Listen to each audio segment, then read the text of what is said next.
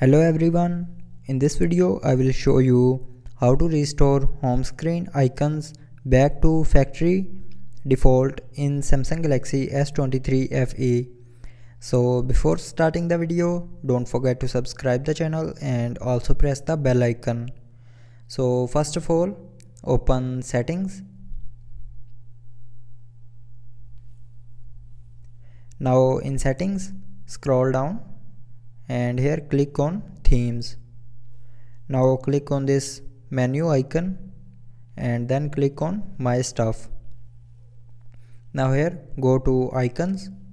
And if you have downloaded other icon styles then click on default and then click on apply. So it will take few seconds and it will restore your all home screen icons into default factory reset so that's how you can restore home screen icons back to the factory default in Samsung Galaxy S23 FE. So I hope you liked the video. Thanks for watching.